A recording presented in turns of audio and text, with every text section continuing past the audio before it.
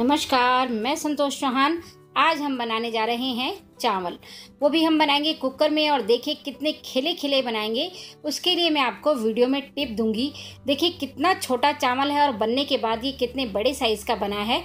तो ऐसा ही चावल हम कुकर में भी बना सकते हैं। चलिए चलते हैं वीडियो की तरफ़। यहाँ पर मैंने एक गिलास चावल लिया है। चावल आप अपने हिसाब से किसी भी गिलास से ले सकते हैं, पर नाप इसी गिलास के अकॉर्डिंग रहेगा। एक गिलास मैंने चावल लिया है तो आपके पास छोटा बड़ा जो भी गिलास हो, आप उसी के हिसाब से नाप ले सकते हैं। अब एक गिलास चावल को मैंने ढाई गिलास पानी में भिगोया है। पानी मैंने लिया है गुनगुना। चावल को पहले धो लिया और गुनगुने पानी में मैंने आधे घंटे के लिए इसको भिगोया है। पानी गुनगुना लीजिएगा। तो चावल हमारे भीग चुके हैं, आधे घंटे हमने भिगोया है।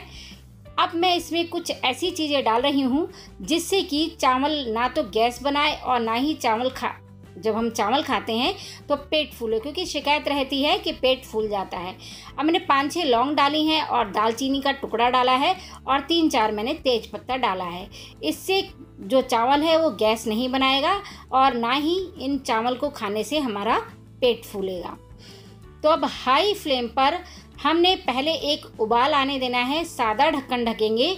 अभी हम जो कुकर है, उसकी लिड नहीं लगाएँगे। अब देखिए हाई फ्लेम पर एक उबाल आ चुका है। उबाल आने के बाद ही हम कुकर का ढक्कन लगाएँगे। और हाई फ्लेम पर एक सीटी आने देंगे। बस एक ही सीटी लगानी है, ज़्यादा नहीं।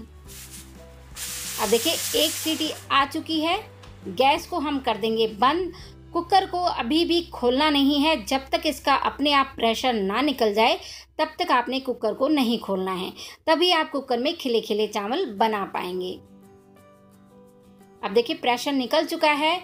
आप वीडियो में देख पा रहे होंगे कितना खिला हुआ चावल बना है। शिकायत रहती है कि कुकर में जो चावल हैं, वो बिल्कुल खिचड़ी की तरह हो जाते हैं खिले खिले नहीं बनते। तो मैं अभी आपको पास से भी दिखाऊँगी कि देखिए, कुकर में भी हम चावल खिले खिले बना सकते हैं, बस थोड़े से जो टिप हैं वो यूज़ कीजिए, जो मैंने आपको बताए हैं। तो कुकर में भी चावल आप बहुत ही खिले खिले बना लेंगे। और मैंने जो चावल लिया है, ये बासमती राइस लिया है।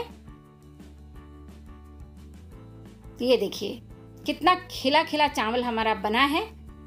तो चावल कोई भी हो, अगर आप ये टिप यूज़ करेंगे तो चावल बहुत ही खिला खिला और बहुत ही अच्छा बनेगा आपका।